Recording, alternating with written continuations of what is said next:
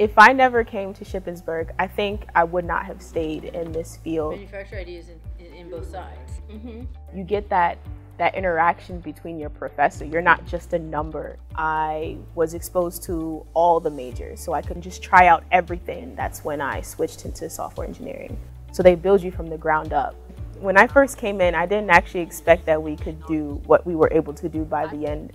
We helped to design a website for NASA. And I'm just getting all the information. They were really amazed to see that we were able just to do so much in just three weeks you know, Shippensburg University does a really good job at preparing me. I actually started having job offers as a sophomore to see that I have both the knowledge and projects that show that I can do whatever I set my mind to. I now know that I have everything that I need